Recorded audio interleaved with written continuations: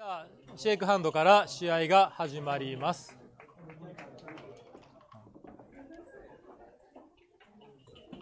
はい、えーと、じゃあ試合が始まりました。えー、望月さんの、えー、5-2スタートです。まずオーソドックスな、えー、スプリットダウンですね。で、バーポイントを作ります。5-2では2面ダウンというチョイスもありますが、まあえー、スプリットの方が、えー、ノーマルですね。はい、えー、アンカーを確保しました。まずは落ち着いた始まりです。1枚逃げます。 Lover's Leap と呼ばれます。そして、おっと、6-5でチョイスが生まれましたね。おー、全く迷わなかったですね。決断早いですね。今のミッドから落としてヒットっていうチョイスもあったんですが、はい。え61は1で、まあ、スロットっていうチョイスがかなりありありますね。うん。まあ、それ以外はもう23によるしかないんですけど、うん。レースはこれどうなんだろう。レースですごい負けてるんだったらスロット有力ですね。うんおはい、えー、スロット選びました。はい。で、6と何でしょうか ?61 ですか。はい。5ポイントを作ります。で、白もおそらく5ポイントを作る。おっとっとっとっと。はい。えー、っと、作って、はい、いきなり5プライムができましたね。最後の1回はダウンか夜かですけど、あこれも決断が早いですね。うん。あ、あこれはかなり強烈なヒットで、リターンショットが、えー、9通りぐらいあるのかな？おおっと、ここで、えーまあ、キューブアクションを当然考えます。えレースはどうなんでしょうか？ああ、もう、あ、なんか、2人早いですね。はい。これレースでもうすでに十分勝ってるんだと相当厳しいキューブになりますね。っていうかまあレースちょい勝ちでもまあダブルはクリアか。うん。21勝ち。あららららららら。あいや、これ21勝ちはダメなんじゃないですか。おおはい。はい。え、10、あ、なるほど。でも、20前後ということですね。はい。うん。うん。まあ、当然白はファイプライム、綺麗なファイプライムがある。おもう、いきなり逆にいました。はい。もうリダブルを考え始めますよね。ああ、いや、これマジでリダブルなんじゃないですか？いきなり激しい第一ゲームになりました。うん。おお。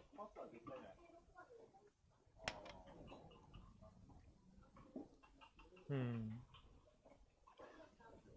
そうですね、パスはまあ、クリアですね。ああ、そんなに迷わなかったですね。うん、はい。うん、はい。こちらでもそういう意見でしたね。うん。まあ、これはちょっと受けられないですね。このブロットがなくても、あの、強いポジションなんで、それに、えー、ショットが加わると、まあ、ちょっともうダメですね。うん。持ちさんが考えてるのは、これの気持ちを落ち着かせようとしてるのか、それとも、うん、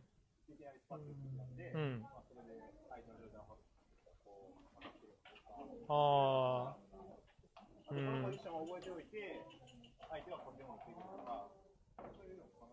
うん、それにしたらでも時間使ってますね。うん。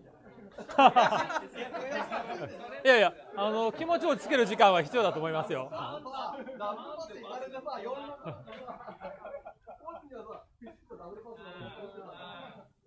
えっと、まあ、何にしても受ける余地はまあないですよね。うん。うん。えっと、テイクするのにオッズはありますかね ?1 対10でどうでしょうか？ああ、はい、おりました。はい。うん。はい。まあ、使った時間1分半ぐらいですか。うん。しかし、普通決勝戦って重くなるんですけど、まあ、当然、望月さんはもう慣れてるんで、重くなることはないにしても、ゆりさん、中村ゆりさんも、ね、全然重くなってないですね。決断が早いですね。そこがすごい驚い驚きです。はい。えー、はい。ビハインドの持ち主さんは当然スロットを選びました。まあ、多分スコアイーブンでもスロットを選ぶのかな。なるほど。うん。はい。えっ、ー、と、6人のレ,、えー、レスポンスは、まあ、普通は、えー、ランですか、16ポイントまで。うん、はい。8ポイントに4枚も駒があるので、ここには、えー、駒置きたくないですね。まあ、オーソドックスな、えー、5-3でカバーと、えー、これも普通のプレイになりますね。はい。まあ、まだ始まっ21ですか。まあ、スプリットして、はい。えビルダー配置を良くすると。うん。おまあ、で、9ポイントをカバーすると。はい。いや、まあ はい。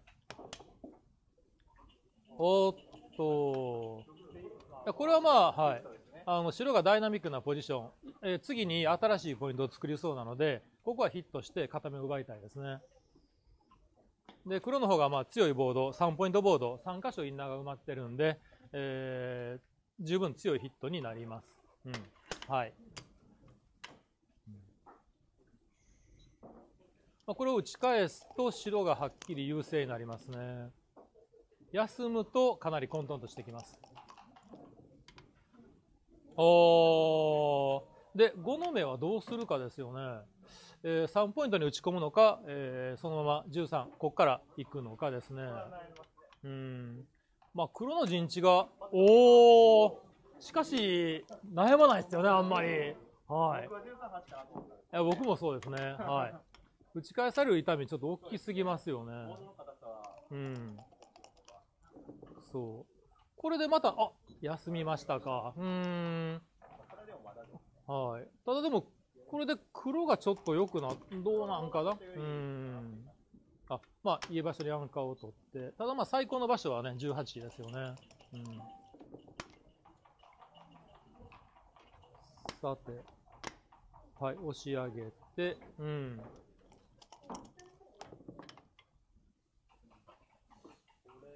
もうミッドポイントにスペアチェッカーがないんで、ね、あれば簡単なんですけど。うんうん、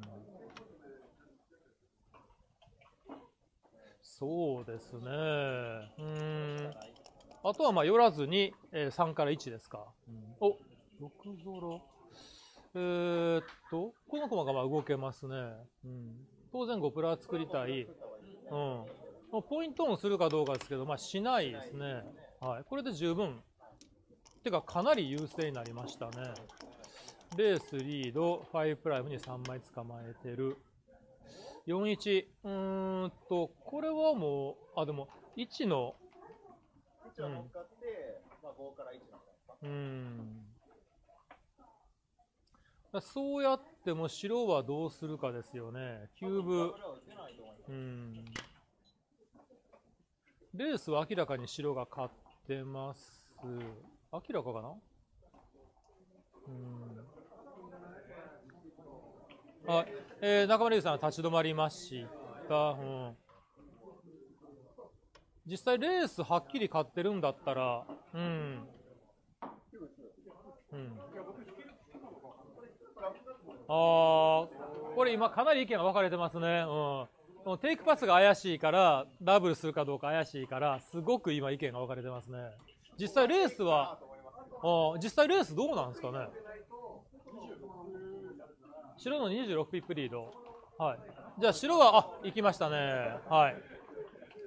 えー、白が26ピップリードと聞いたので、まあこれは大量リードと言っていいですね。うん。で、えー、っと、これ、これイージーテイクですか？っていう話ですよね？ダブルしたら。うん。うーん。はははは。横田さんはパスはありえないという。はい。うんうん。いや、これ私は全然。はい。うん。うん。Matt, is it easy take? Ah, okay. Yeah. はい。はい、えっ、ー、と、5、6で、はい、飛び出しました。うん、おこれまた逆？これはいろいろチョイスありますよ。まあ、2枚飛び出して、えヒッターのカバーね。はい。はい。これで逆ってますかね？ちょっと逆ったんじゃない？ですか。おお、ちょっと、止まりましたね。しかし、その手以外が本当にあり得るのかっていう話で。うん、2枚目飛び出すのは絶対ですよね。さすがに。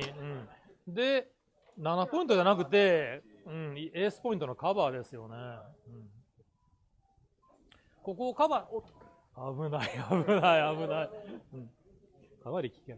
まあ、ここをカバーしても、綺麗なプライムでは全然ないんで、うん。穴が開いてる上に、3ポイントにセミデッドマンがあるので、まあ、まあ、エースポイントのカバーで、あ全部動く。で、ヒッいや、ヒットは絶対ですよね。うんえっと、もともと26ピップリードだったから、まだ、うん。あ、お、じゃあ全然そんな大差でなかったのかな？おしかし、まあまあ、結局は、はい。はい。さて、これ休むとどうなんですか？あ、入りました。えっ、ー、と、3でまあ、カバーですか？はい。はい。はい。まあ、これは、はい。スコア負けてる黒ですが、まだ全然ですね。はい。えー、他にはないですね。さて、白はこれを攻められるんで、かなり楽しみいっぱいです。えー、っと、まあ、引き逃げぐらいですか。はい。うん。ねヒットしてそのまま残すのはちょっと男らしすぎますかね。うん。あ、えー、大変失礼いたしました。今のは、えー、慎んで訂正させていただきます。はい。はい。はい、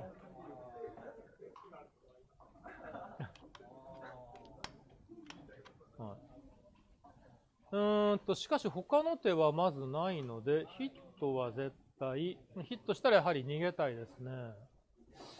ヒットして打ち返されると、まあもう、ほぼ、ま、かなり負けっぽいんで、うん。はい。うんいや、でも面白いですね。あの、いろんなプレーで、ささっとプレーし、うん、動かすと思えば、やっぱりこういうところではね、しっかり考えて。はい、さて、このブロットを打つと、まあ結構大変なことになります。あのー、これは、はい、他にチョイスがないですね。うん。まあ、ここに駒が2枚も死んでしまって、かなり、えー、プレーがしづらくなりました。これ面白いね。1ゾロ。おこれどうどうするんですか、うん、打つかどうかっていう話で、うん、うん、まあ、通常はこのセミデッドマンを働かせたいので、打つっていうことを考えるんですが、もうそもそも今これでも捕まえてるんで、ネタを起こさないという考え方ですね。はい。うん。うん、これでいいんじゃないでしょうか。うんさて、黒は、えー、素晴らしい目が。うん。これは、しかし、ショットは与えられないんじゃない？与えるの？まあ、チョイスはもう、8ポイントからいって、ショットを与えるのか、それとも、はい、6ポイントをクリアして、ショットを与えないのかってことですよね。うん。いやー。うん。例えばダブルマッチポイントならこれですか？うん。ギャモン負けを気にしなくていいんだったらこれかな。うん。ああ。What do you think? ああ。You break the six point. あはい。まあ、安全策を選びました。うん、まあ、レースでは黒は悪くなさそうです。勝ってるのかな？うん。だからまあ、ヒットされないことが一番大事ですよね。うん、で、えー、まあ、26がジョーカーになります。おえー、とりあえずはまあ、これはヒット、はい、できて、まあ、大満足ですよね。うん。で、4の目をどう動かすか、まあ、考えている最中です。うん。うーん。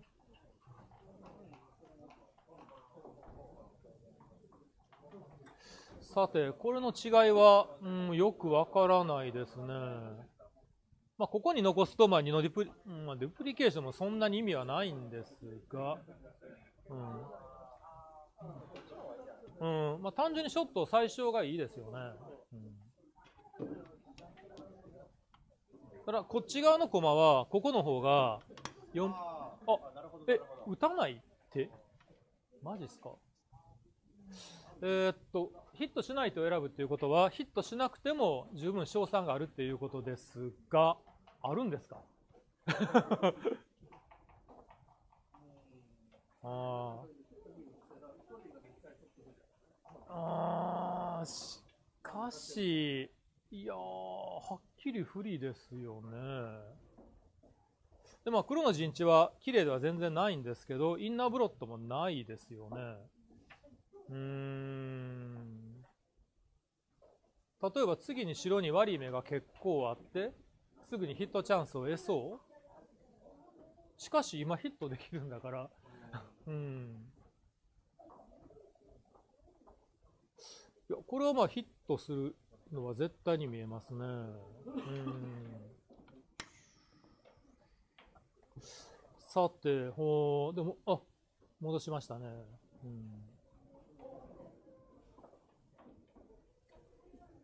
うん。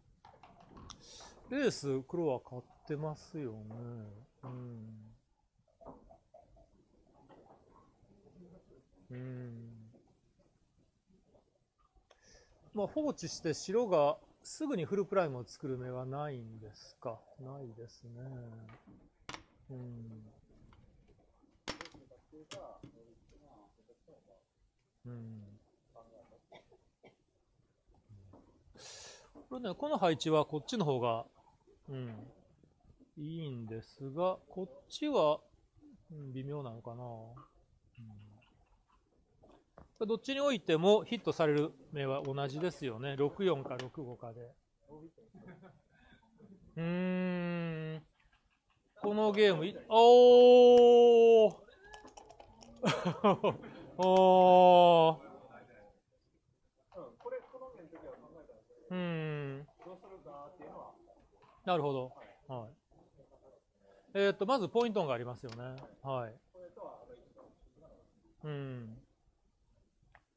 で、このプレーを選ぶと、えー黒はオンザバーから、えー、1610、4341、7ショットですか。7通りで、えーリターンヒットできますね。うん。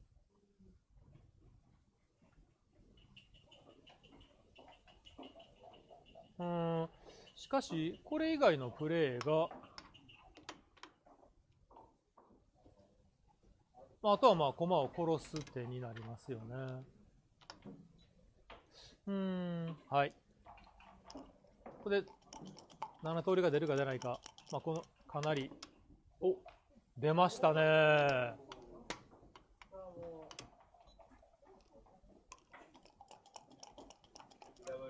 う、ん、ダンスしましたね。はい。これはまあ、2枚目を拾うチャンスもあるので、これまず、私が白なら喜んで4倍キューブをテイクするのか。しないですね。はい。まあ、とりあえずリダブルはもう、はい、強いリダブルですね。これは難しいんじゃないですか。うーん。まずスコアで言うと負けてる方からのリダブルなので、まあ、通常よりも相当強いですね。僕はパスしますけど。うーん。現状でレースももうすでに黒が勝ってますね。うーん、20、まあ、6ポイントが空いてるからな 15%? あ、そうですか。うん。どれぐらいだと思いますか？20%ぐらい。うん。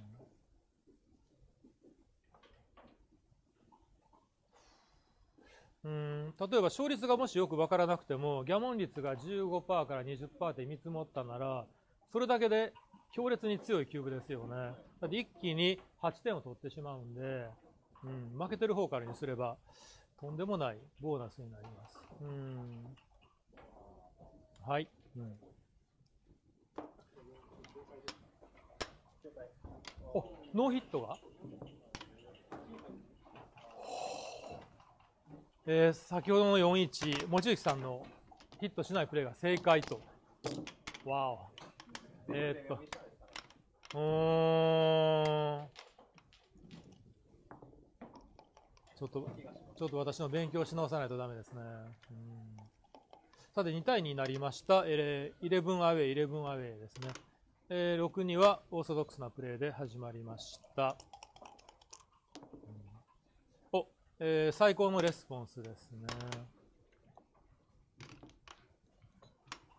もうこれだけで相当白が優勢になってます。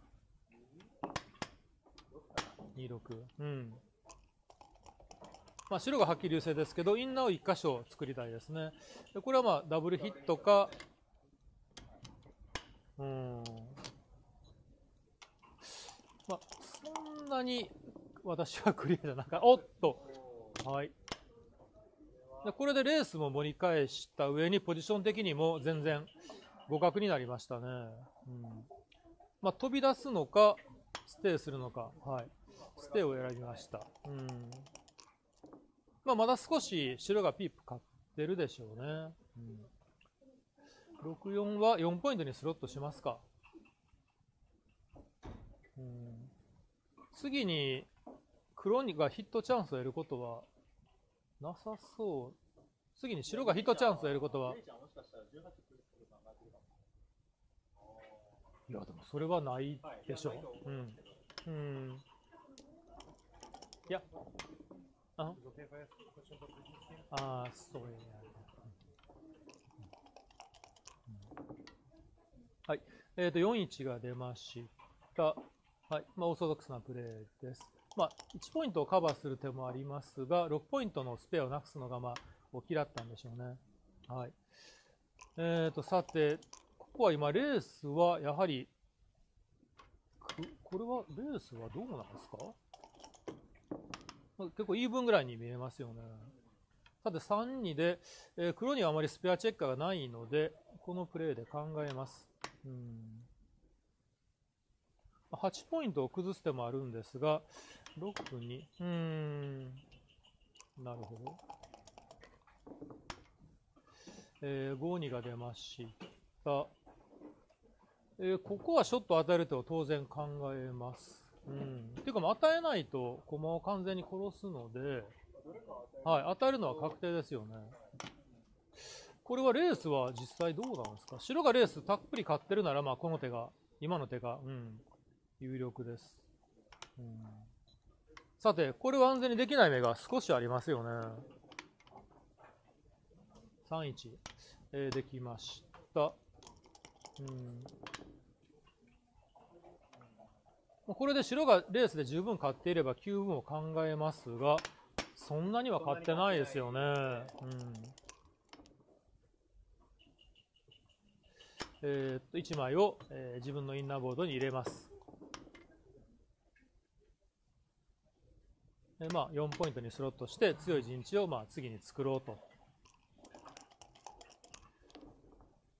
お6の目を止めますか？止めました。うん。まあ、これで4-0と5-3、3ショットがありますね。うんはい。まあ、これで陣地はほぼ完成しました、黒は。うん今1でインを考えたのは、キル6を考えたんでしょうね。うん、6の目を殺すというテクニックですね。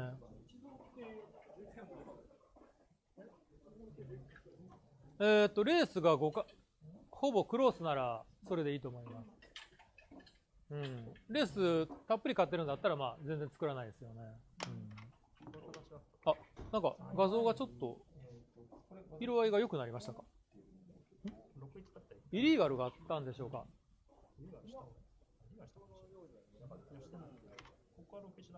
えっと、今まだ、望月さん考慮中、いや、クロック動いてないですよね。9係が間違ったとか、そういうなるほど。寄付を今取ってる人が、うん。混乱して。うん。なるほど。あ、えー、っと、ちょっとじゃあ、休憩タイムのような感じで、はい。うん。はい。あ、はい。ぜひ、あの、興味のある品があれば、手に取って、えー、ご覧ください。はい。はい。あの、本もありますよ。は。いや、寄寄付入力の問題じゃないんですかね。はい、そう思います。うん。はい。はい。強くなるためには、まあ、本を読むというのも有効な、はいえー、方法で、要所にもすごくいい本がたくさんありますし、まあ、英語の苦手な方には日本語の本もございますので。ありがとうございます。ああ完全に、はい、ワンランクアップしますね。はい、さて、試合が再開されましたが、うんと、今のうちにピップを確認しておきますか。うん、お。で黒が40、87、92、93、うんえー、当然ブロックは隠します。はいうんまあ、白は1、2を先に作って3、4が空いてるっていう、とてもまあ悪い形ですよね。うん、さて、黒、うん、いやいやいや。これ黒が大量リードなら外すのを考えるっていうことですか？うん。今ね、望月さんが立ち止まってますよね。うん。えっ、と、すみません、ピップがいくらでしたかね？あ黒、あ、えー、黒の8勝ち。じゃあ今これで黒の1勝ちになったんですね。うん、さて、うん、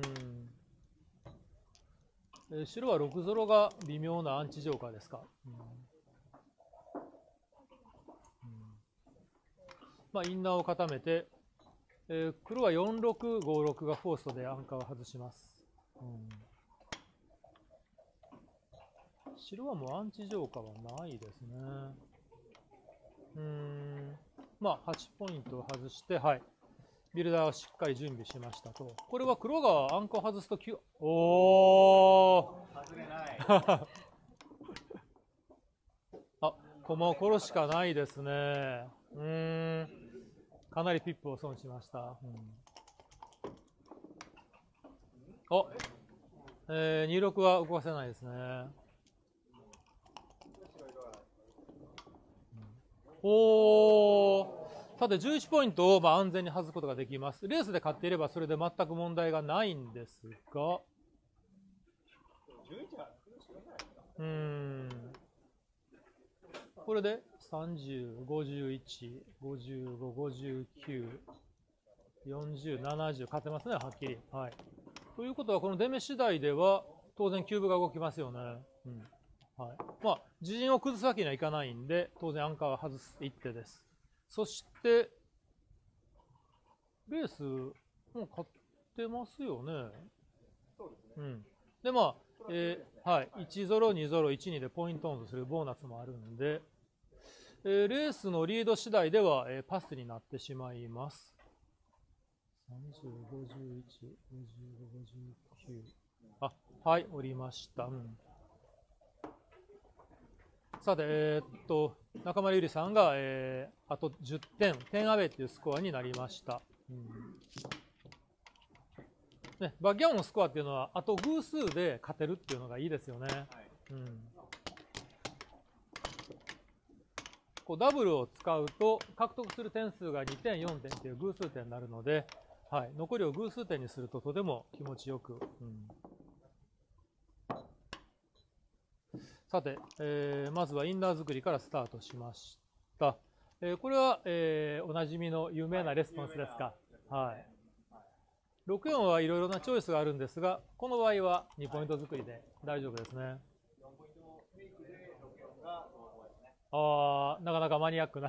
はい、その通りでございます。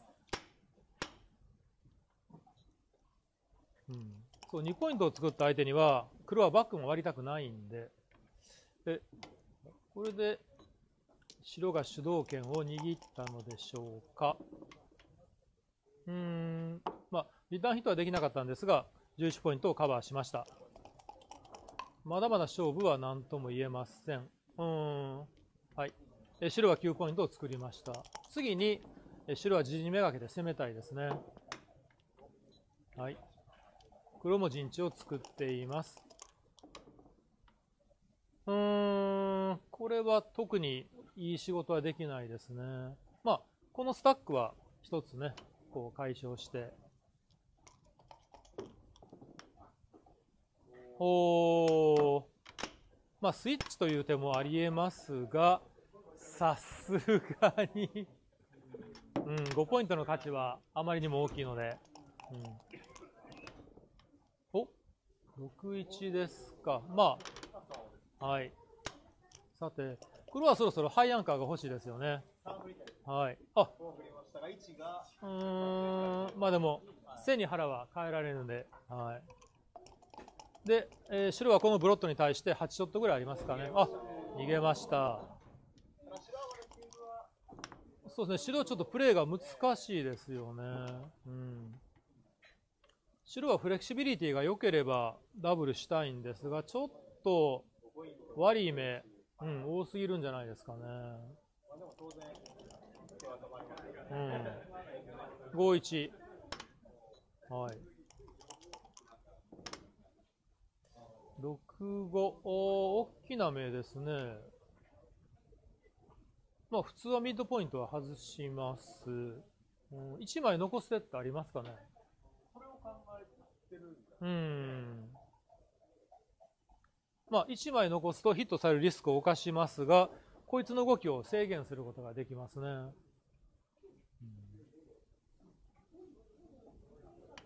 うん。まあ普通に2枚いきました。で、白がもう一度キューブを考えます。えっ、と、レースはどうなんですかねまあ、レース勝ってることは当然絶対条件で、まあ、勝ってそうです。うん。例えばレースで20ぐらい勝ってるんだったら、うーん。実際？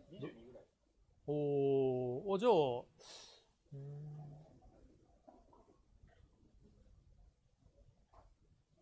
えーっと、安泰浄化、あ、行きましたね。はい。うん。うん。まあ、アンチ浄化、その白がすぐ不利になるような変な目がない限りは、全然ダブルいって問題ないですよね。うん。うんと、まだインナー5ポイントも3ポイントも大きく空いてるので、うん。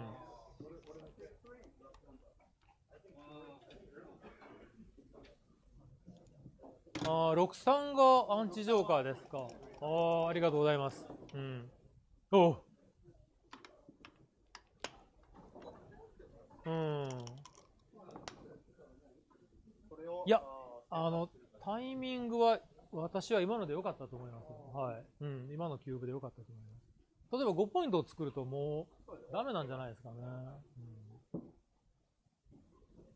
さて、うん、まあその、え黒は21ポイントのアンカーを前に寄せるかどうかですよね。黒としてはヒットチャチャンスを得たいので、どちらの方がよりヒットチャンスをもらえるかと。うん、通常は後ろで待ち構えるほどヒットチャンスをたくさんもらえます。この場合はどうなんでしょう。うん。うん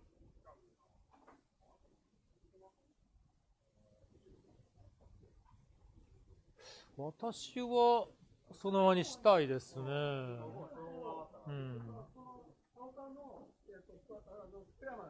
はい。うん。うん。So, ro- it. Yeah, yeah, yeah. That's what we discussed. Yeah. Uh, I, I stay. Uh-huh. うん。いやーうん、ここはたっぷり時間を使ってますね。うん。うん。うーん例えば、寄って今すぐ得する展開があるんだったら、寄った方がいいかもしれないですね。どんな展開があるんだろう。うん。そもそも白の割目はなんだ。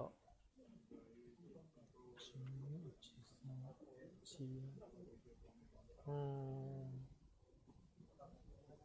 ああ前によると白がここ1番にしたときにショット2ショット余分にもらえると。あうんああはあ、うん、You like this play? あはおお そうですね、まず4ポイントのギャップを埋めて、うん、得しましたね。はい。うん。まあ、白が十分優勢ですけど、うん、よ黒はアンカーを寄せて得をしましたね。うん、6-1。あこれ、相当フレキシビリティ悪くなりましたね。うん白はすぐ悪い目は何だろう。うん。101、1314。うん。1516、2023。うん。あ、6号はこれはポイントオンするしかないですね。まあ、2ショットですね。うん、これを外してもらえると白はかなり、うん。それでもやっぱり4で苦労するのか。あ、あら。あこれは言霊なんでしょうか あしかし休んでる間に、うん、例えば3絡みあ6号は相当いい目ですね、はい、ゾロ目以外ではベストロールですか、うん、さてこれ4ショットですおということはこれはかなりギャモンが出てきましたねはい、はい質問です。ゴゾロはいい目だったのか悪い目だったのか。ああ。いや、it's possible. Yeah. はい。これで、はい。もうギャモン率はもう莫大な割合になりましたね。うん。80%ぐらいですか、ギャモン率は。うんうんうん、そうすると、まあ、うまくいけば白は7点をた取って、まあ、あと6点ということになりますね。あうん、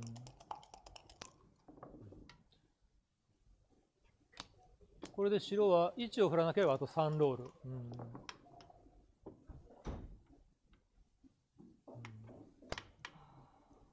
まあ、黒は十分6ゾロ1回でセーブできますか。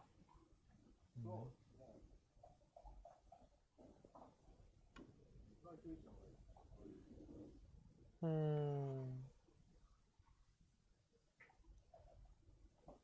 まあ、こんな感じですかね。うん、さて、1は出るのか？出ないですね。うん、1が出ないと6ゾロ振ってもキワキワですね。うんこれは ?3 ゾロですか？あ、uh, maybe double three. あ、あ、no. Yeah. 失礼しました。さて、1出ないですね。とりあえず大きなゾロ目を振っておきたいですよね。うん。これで次に5ゾロ以上がもう4ゾロがいけるのかな？あ、4ゾロダメですね。5ゾロ以上が必須になりましたね。白が1を振って、かつ黒は5ゾロ以上と大変厳しくなりました。はい。はい。うんこういう時は振らせたらダメですよね。はい。えー、そろそろ休憩、おそんな雰囲気はないですね。うん。うん。で私が黒ならめっちゃ休憩取りたいですね。うん、あえー、スコアリングまだされてます。あ、しましたね。はい。これよく見るんですけど、駒を並べる前にスコアリングは絶対しましょう。はい。必ずその習慣をつけるといいと思います。うん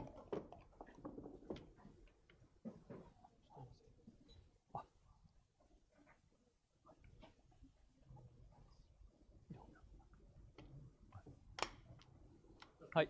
えー、と5-4で、えー、と2枚ダウンから始まりました。スコアで、えー、負けている、えー、望月さんとしては当然の一手ですね。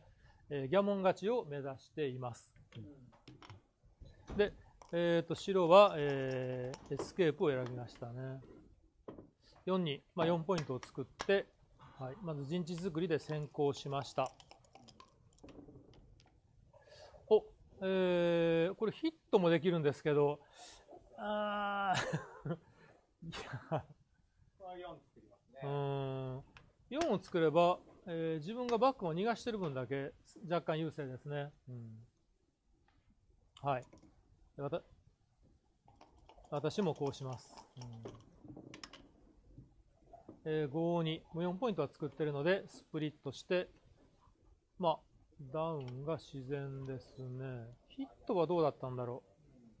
6ポイントに5枚あれば、多分ヒットなんでしょうね。うん、えー、っと、これは逃げるぐらいですか。うん、はい、逃げました。まあ、黒はこれはしっかりとヒットしておきたい。うん。まあ、当然5ポイントは作ります。そしてアンカーも重ね、えー、アンカーを確保します。うん、まあ、これで白が主導権を握った形になりましたが、さてこれは何なんでしょう？うーん。えー、っと、黒の陣地がもう十分に強いので、マジですか、えー、おー。いやー、勇気凛々ですね。うん。ちょっと今発言に気をつけました。うん。あの黒の陣地が弱ければ全然これでいいと思います。しかし、この強さだと、うん、まあ、これでも、ただショット与えてしまうっていうのは難点ですね。黒は4通りでこの駒をヒットすることができます。まあ、それでも、打たれると即負けもあり得るので、うん、これは仕方ないと思います。まあ、本当に白はここに6枚を積みたくないし、やりたくないことだらけですけど。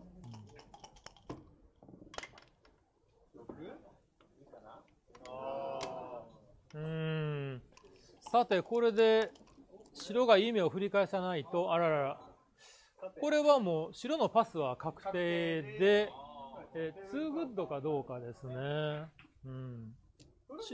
うん、白に受ける余地は今のところ一切ありません。うん例えば黒が並の目を振る、白がエンターする、でもテイクできないですね。ということは、えー、 too good になると思います。はい。ということで振りました。はい、4-2は特にいい目ではないですね。うん、まあ、もう平凡にこの駒を持ってきて、まあ、8から6なんでしょうかね。うん、はい。横田さんも同意見です。はい、うんまあ、ちょっと36の、ね、ジョーカー与えるのが嫌なんですけども、他に手がないんで、あ入りました。うん、エンターしてしまうと、 too good 続行は、うん、あえっ、ー、と白仲間ゆりさんがヒットを考えてるわけですか。うん。まあえー、白とすればどの道もこれは負けゲームなんですが、1点負けで進めばよしと。白としてはそれで大満足ですね。うん。うん、これがさらに2グドって、ああ、あ、もう迷わな迷わなかったですね。はい。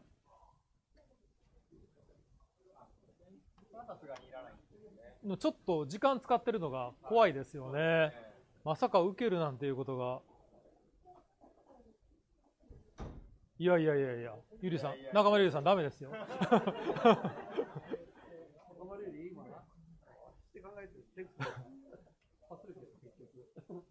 まあそうですよね。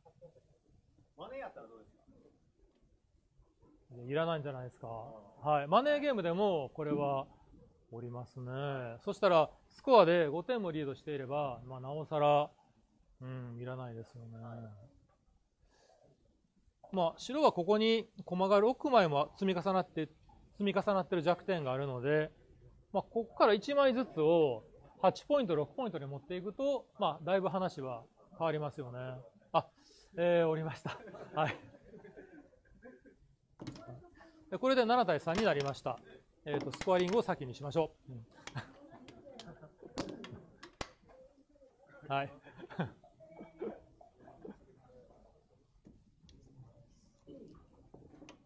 えーこれで、えー黒の望月さんも、えーあと10点、えーグースアウェイになりましたね。はい。えー中丸ゆりさんが先行を取りました。えーより良いポイントを作りました。うんおお互いに作るいい目を振り続けていますね。5、4。はい。これは、えーっと、こういうふうにバックマンを進めるのがもう定石になります。えー白の攻め駒がまだこのエリアに8枚しかないんで、そのうちにまあ割っておきたいですね。えーっと、白は当然ヒットしました。まあ、これを打てないと、あ、打ち返しました。はい。これで黒が優勢になりましたね。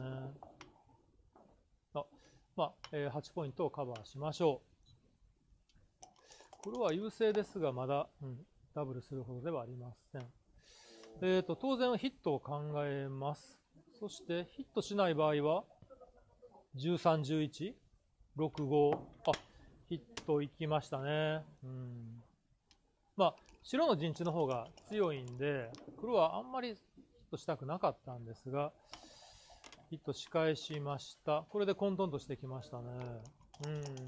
もし休んだりすると、あ、これで、まあ、一安心で。うん。で、4はまあ、これ行くぐらいしかないですね。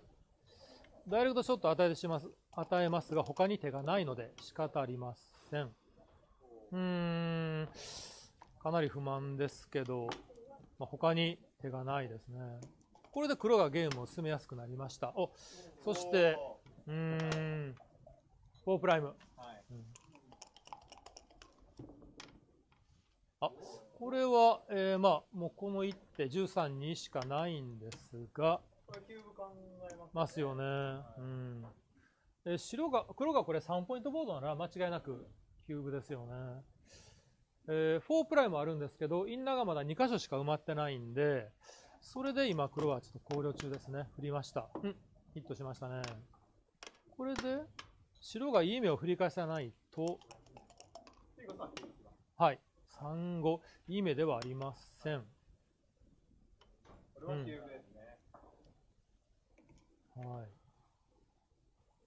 まあ、黒はお尻に1枚バックマンのあるのが、まあ、弱点なんですが、まあ、ここは十分に強いので、そしてスコアで負けてることを考えると、うん、まあ、行くんじゃないでしょうか。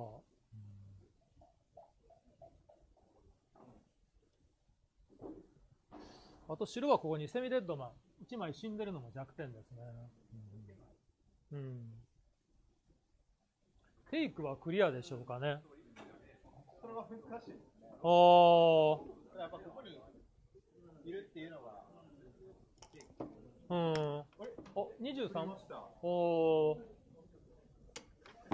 おーそして、いい目が出ました。これはかなりマーケットをなくしたっぽいですね。21。21は比較的良いレスポンスかもしれません。23で。はいしかしまあ、これは、ダブルはもう鉄板ですね。そして、いや、受けられないでしょう。はい。うんんもしかして中村ゆりさんが例えば一つ前のゲームでもはい。テイクパスを考えたので中村ゆりさんがすごく受けやすい人だと考えてタイミングをちょっとずらしてるのかもしれないですね。うんここも時間使ってますよね。うーん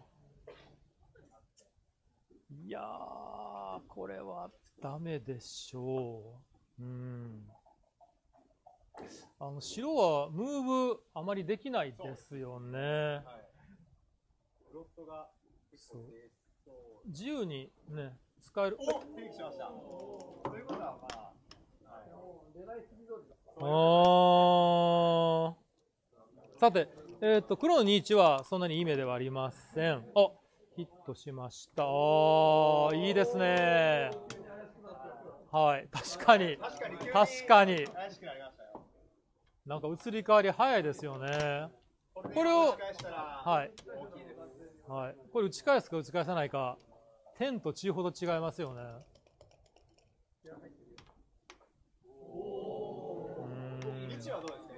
位置はまあこれ重ねる手はないんでまあこれかこっち重ねてねいいんじゃないですかね。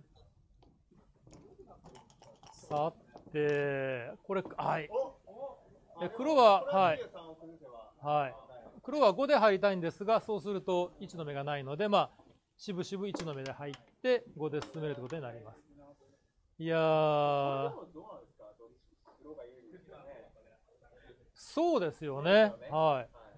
ここまではすごく黒にとっていい展開だったんですけど、まだ逆転してないですよね。まだ黒が優勢ですよね。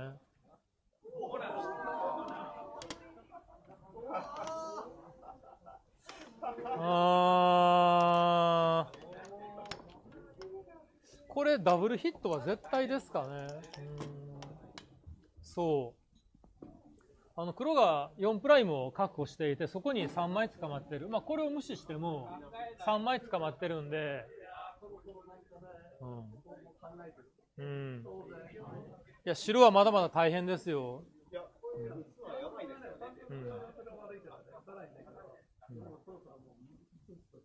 うん。あ、今黒が休んだんですねはい。それ白が考えてるんですね。いやいやいやいやいやいやいやあのー白は大量リードしてます、スコアで。で、デダブルなので。はい。例えばは、4倍になってギャモンで勝つと、あ私、いっぺんにマッチを勝てるなどと考えてしまうと、それもし8倍来たときに、あって言ってしまうんですね。うん。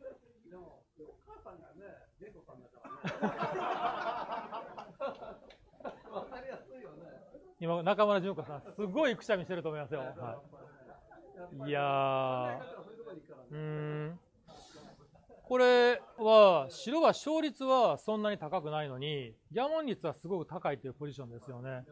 だから、はい。だから典型的なスコアで勝ってる方はリダブルしてはいけない形になります。うん本当に行くんですかこれ。あ、横田さんはもしリダブルすると400点のエラーではないかと言っております。それぐらいだ。あ、いやーこれはダメで、あ、あはい。2、1。まあ2は当然、はい。いや、本当4プライムっていうのは、皆さんが考えてるよりも長いプライムで、脱出が簡単じゃ、うー。これはいいアイディアとは、うん、白の仕事は、バックマンだったからはい。あ、あ、ただまあ、1で次重ねられると得を。あ、あ。はい。さて、でも白はやはりこのバックマン3枚で今とても困ってますね。うん。わお。1で入ります。はい。このプライムは崩せないですよね。うん。これって今互角に、冷静に見てどちらが優勢なんでしょうか？おあこれはどうですか？あ。はい。まあまあ3は行きたいと。はい。で3はまあ乗っかりますよね。はい。もうこれね、3はバックマンを前に進めましょう。うん。3しかな？い。ええうーん。あーまあ、このままバックマンが進前に進んで、いや、これで黒が全然優勢になりましたね。うん。ちょっと白がリダブルを返す目はなくなり、まあ、そもそもないんですけど。え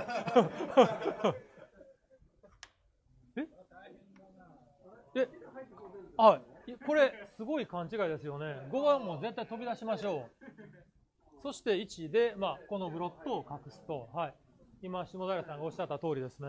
うん。いや、これは絶対の一手ですね。その飛び出すと、まあ、6で打たれて嫌だっていうのがあるんですけど、そもそも飛び今飛び出さないと陣地が崩れてしまうんで、うん。うん。ああ、今のプレーは、いや、白は痛かったな。うん。まあ、さて一貫してましたけどね。うん、なるほど。一貫つってること大事ですよね。うん、はい。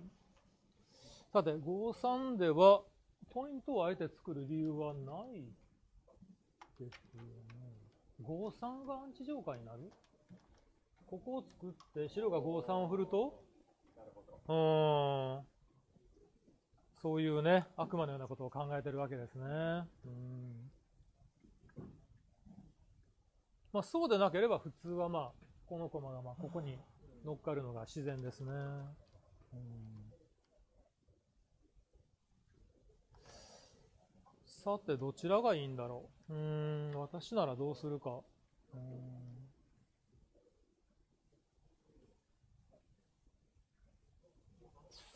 うん、私なら1枚7ポイントに持っていくかな。うーん。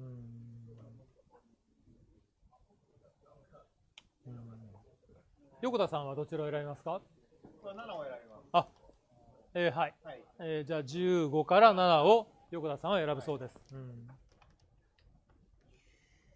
さて、ここは望月さんかなり時間を使ってますね。うん、2人の時間の使い方は、えー、と望月さんの方が3分半ぐらい短い、あの長く使ってますね。うん。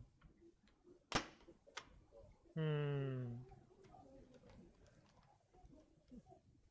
26は後ろからいけるから、まあ、53のスイングがまあ巨大ですね。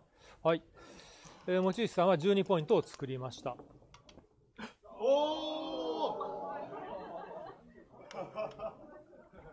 いや出ましたねいやいやいやいや。さて、うーん。えーと、これでギャモン勝ちがすごくはい。あ、まあ、とりあえず、このアンカーはものすごく貴重なアンカーですね。はい。ギャオン負けを逃れるためにもとても大事なアンカーです。うん。で、まあ、うん。さて、黒は一気にギャモン勝ちで、えースコア同点に持ち込むチャンスを迎えました。6-4。ヒットできますよ。あ。でもヒットですよね。はい。そうですね。仕方ないですね。はい。ラで、次のシナリオは6、5ですか、う ん、まあ、まだ黒が全然有利なんですけど、うん。いやー、でも中村優さん考えますね。はい。あー。6出ましたよ。お。これ、勝率だけでいくと、横田さん、どちらが有利なんでしょどっちなんですかね、これはう。。もうこれ、白優勢ですよね。うん、はあ？何なんだ、これは？え？いさっきまで黒がギャン勝ちするのかって言ってたのに。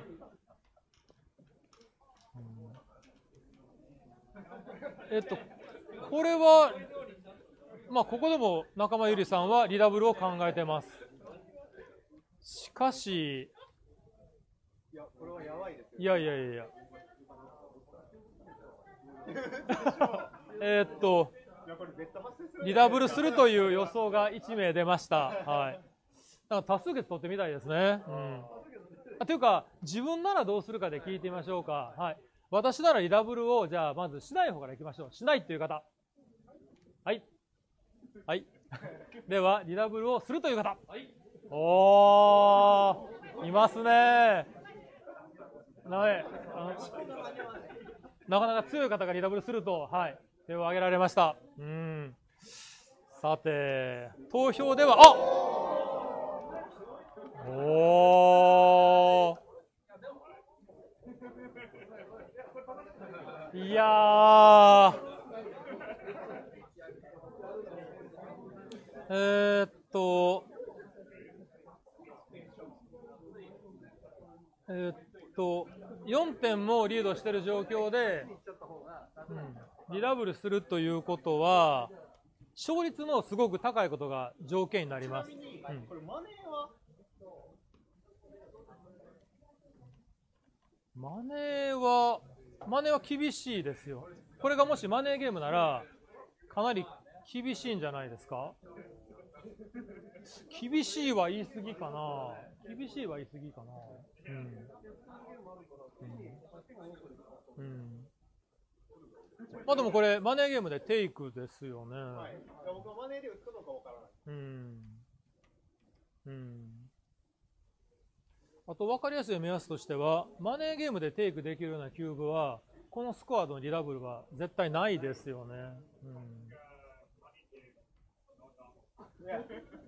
Oh, I agree. そう、えーマット・コンガイア、えー世界的なプレイヤーが、これがマネーゲームであってもノーリダブルと言っていますね。Have you checked? Or it's your opinion? あー、OK, OK. You, you, you cheat.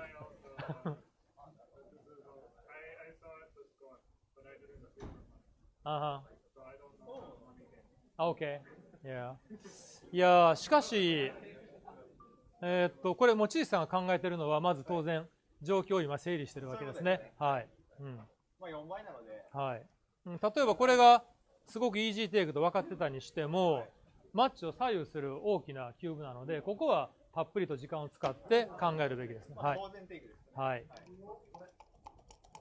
で、これ、いつ8倍を返すかですよね、はい黒としては。急に来てもおかしくはないです。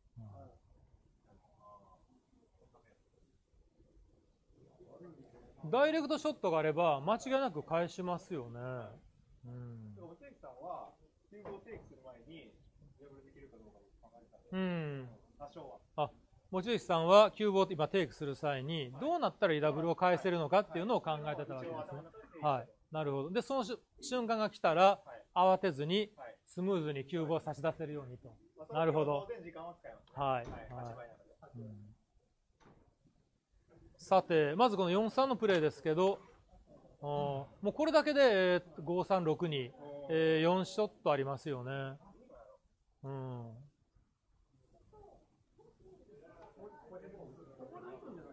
あなるほど。えっ、と、ここでもリダブル8倍を打つんだぞという意見が多数上がっております。うん。わからないですね。うん。例えば、ダイレクトショットが来ても、テイクするんじゃないですかね。うん。うん。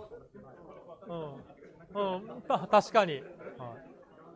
はい。6で出て、これを隠すだけっていうシチュエーションで、パスになってる可能性うはある。ん。おこれ打つん。じゃないですか。うーん。なるほど。まあ、テクニカリーには、まあ、もうリダブルで8倍を今すぐ打っていいと。ただ、実践的には、本当に今すぐ打った方がいいのか、それとも、一つ待つ方がいいのかというところを今考えてるわけですね。うん。あ、行きましたね。はい。はい。さて。いやー、まずは、まずは4通りですね。うん。いやまだありますよ、これ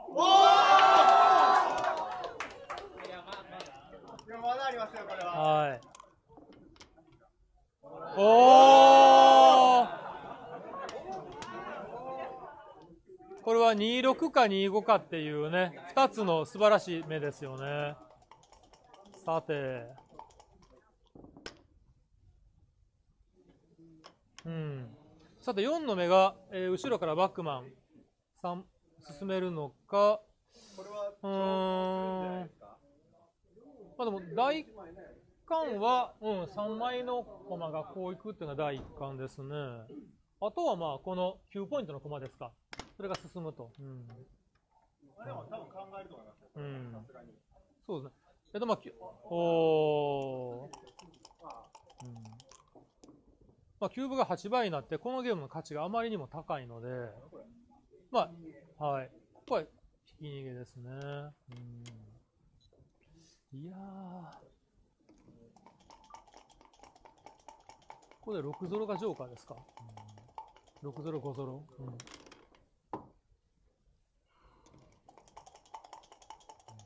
休むとまた大変ですよね。4。まあ。はい。うん。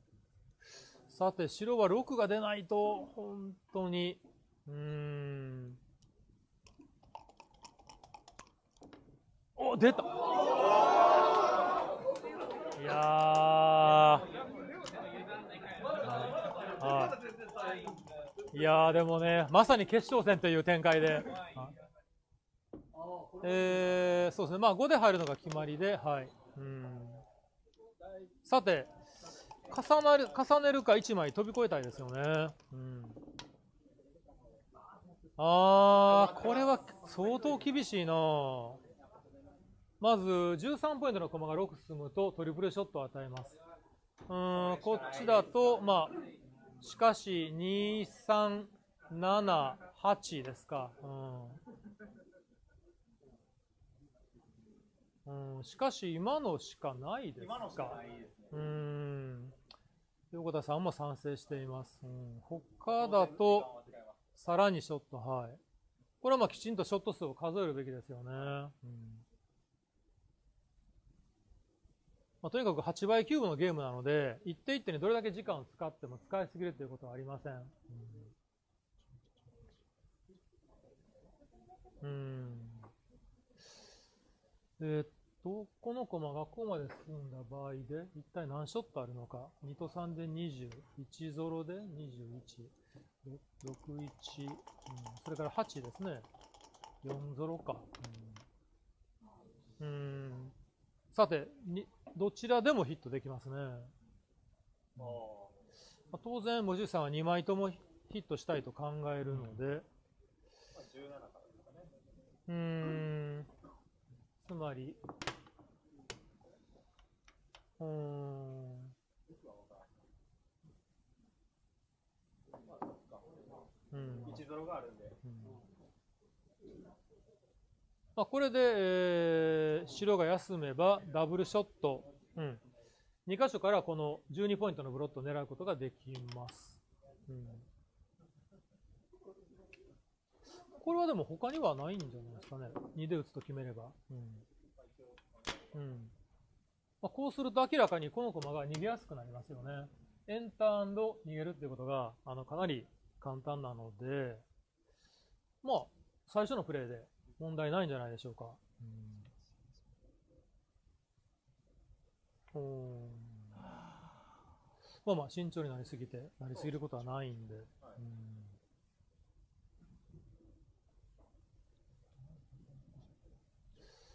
うん。うんうん、そうですね、あと、皆さんがおっしゃってるように、一番後ろの駒、24ポイントのアンカーはまだ外さないですね。うん、相手に1ゾロや2ゾロっていうジョーカーを出される振られると嫌なので、うん、そこは確保します。だからあの2枚を固定して、まあ、残った13枚でフルプライムを作るというのが、えー黒の狙いになりますね。おー。かなり、うん、使ってますね。うん、そうか、まあ、フルプライムを作るっていうより、まあ、2枚を拾えば、フルプライムはそんなに必要ないんで、うんとにかく2枚を拾って、で、ギャモン勝ちすれば黒は一気にマッチ勝ちですか。これはうです。うん。うん。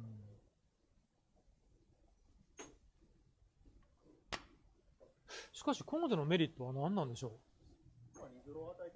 う、うん、例えば、白がダンスしたときに、また苦労するんじゃないですかね。ますね。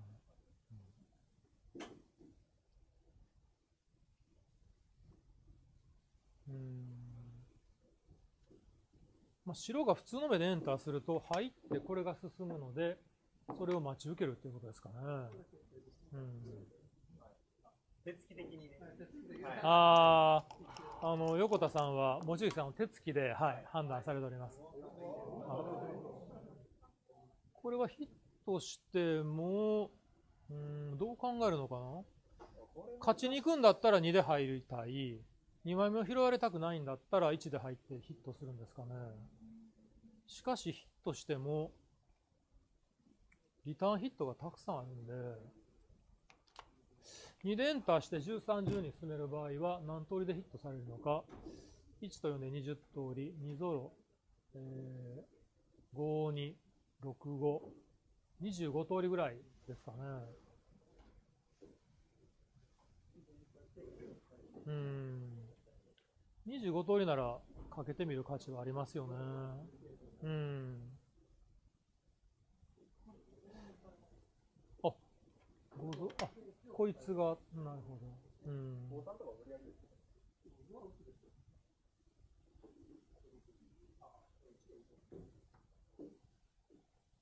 うん。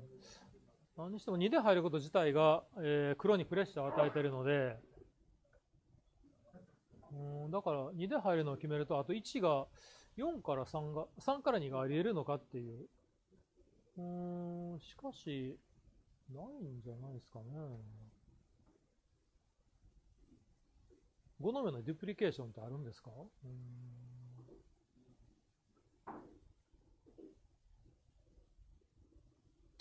うんそうですね。もし白が3から2を選ぶ、うん、黒が例えば6、1を振る、うん、どうなるんだろう。うん、おこれで2と5、1ゾロ、1、4、23。お尻から6、お尻から4ゾロだけですか。うん、まあ、ヒットしました。白はとりあえず2で入れば、まあ、ハッピーなんでしょうね。試合がですか？ああ、可能性は少しあります。はい。え、っと、無茶ぶりきました。はい。えー、さて、まあ、黒としては、ギャギャモン勝ちも狙いたい。うーん。まあ、黒は順当にいけば勝ちなんですが、白にも勝率、それなりにありますよね。うん。うん。あの、アンカーから10に離れた場所にビルダーを置くと、まあ、一番最強の、おー、2ゾロ。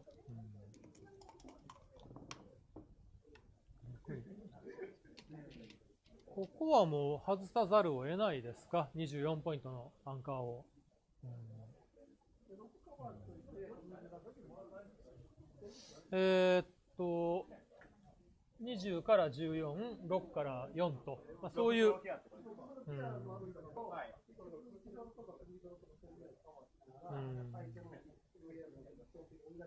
うん。あその手もありますよね。うん、うん、これ白は616なら飛び出して打つんですかね。黒2ゾロが出ました。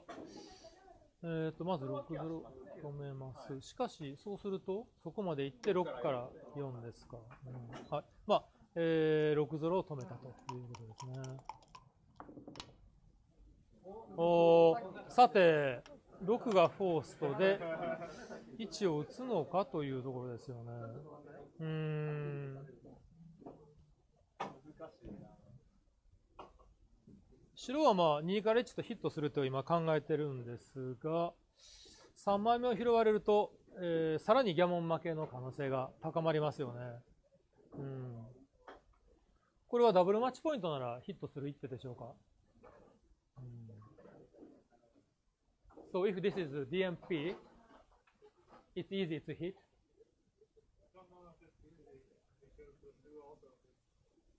Uh-huh. あ もしこれがダブルマッチポイントでもヒットするかどうかがクリア、はっきりしないんだったら、この状況だとヒットしないのかな。うーん。うーん。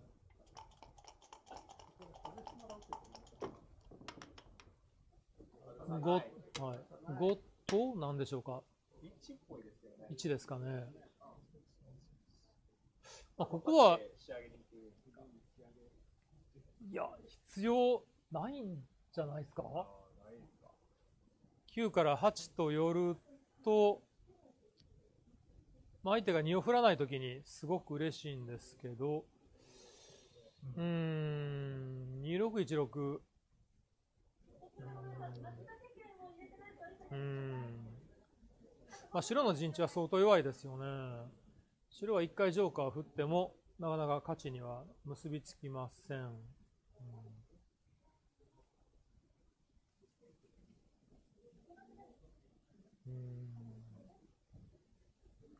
まあ、9から8をやると、1ゾロ振られても結構嫌じゃないですかね。うん、お9から8やられました。うーん、さて、何が出るんでしょうか。おあーこの場合は、勝ちポイントにこの寄せてすごく得をしてます。はい。全部いきます。はいはい。はいこのままクローズアウトすれば、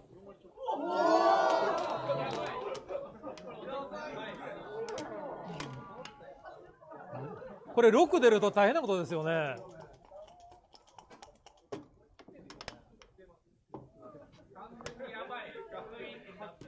あー、6、1個出ると、あー。そんなにうまくはいかないですうよ。いやいやいやいやいやいやいやいやいや。いやいやいやいやいやいや。おー、なんか、すごいため息ですよね。あ。で、どうなるんですか、これは。あ、エンターしました。まあ、さすがにこれは重ねたくはないんですけど、はい、はい、白は3ポイントボードあるんで、やっぱりヒットは、さて、まあ、いジョーカーが一通りだけになりました。うーん。まあ、白は中途半端な6は振らない方がいいですよね。うん。黒黒も、まあ、相当有利なんですけど、やっぱりあの出目がはい。頭にあるので、はい。常にそれを考えながら、うん。ビクビクプレイしないといけない。こんなに優勢なのにビクビクって嫌ですよね。うん。さて、えー、5に、うんうん、そうするとまあ、え6ー出てないですか？19から14ですかね。うん溜まってますよ、で6が溜まってるという意見が出ました。まるでマグマのようです。あ今、でかかったように見えたんですけど。おー。これね、当たって、綺麗に当たってるんですよ。はい。はい。ね、素晴らしい目ですね。さて、さあ、もう一度が、うんこれでクローズアウトすると、ギャバン勝ちが約4、お？ああ、埋まってますね。はい。約4割ですね。まあちょっとスペアの配置が悪いんですけど、うん。はい。ここで今、黒が約4割で、えーマッチを勝ちますね。うん。4と何でしょう多分41 41ならまあ、これ全然上がりますよね。はい。41なら上がります。うんうんあ、1枚入りました。はい。まあ、これはギャモンにならなければ、まだ全然、はい。11対7なんで、全然問題ないんで。これで入るとかなり、はいああ。ヒット ?2 枚上がりはさすがにないでしょうね。しかし、うーん。えー、西ローハ。1枚だけ上がると残りが奇数枚ですか？残り11枚ですか、うん、はい。さて、ここでエンター。うわこれギャモ率5割超えてますかね。うん。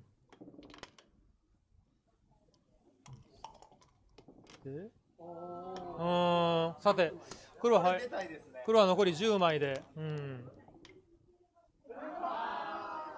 ああ、休みますか。あこれはむしろミラクルが必要になってきましたね。うん。えー、っと、白はまあ6ゾロ1回振ればセーブできますよね。うん。あ決まってしまいました。えー、ギャモン勝ちで望月さんの優勝です。